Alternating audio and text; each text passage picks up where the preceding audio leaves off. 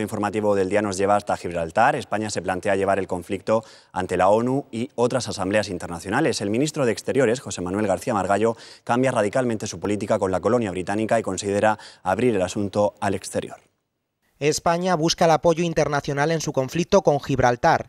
Después de los últimos acontecimientos, el ministro de Asuntos Exteriores, José Manuel García Margallo, viajará en septiembre a Buenos Aires donde analizará con su homólogo Héctor Timerman la posibilidad de que ambos países hagan frente común en la ONU por Gibraltar y las Malvinas.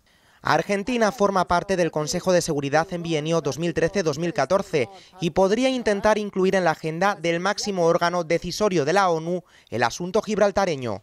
Pero no es la única opción que tiene nuestro país, porque otra de las posibilidades que estudia el Ministerio de Exteriores es llevar el asunto al Tribunal Internacional de La Haya. En él, España podría reclamar la ocupación ilegal de la zona que une el Peñón con la línea.